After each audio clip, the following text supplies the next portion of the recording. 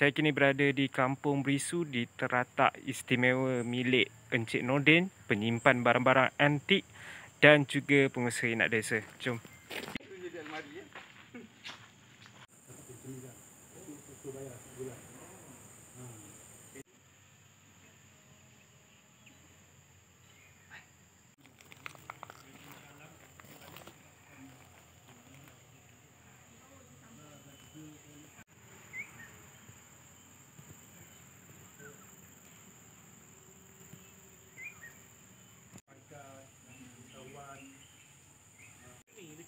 Yang itu.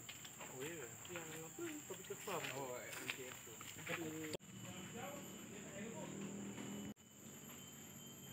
Tak wajib.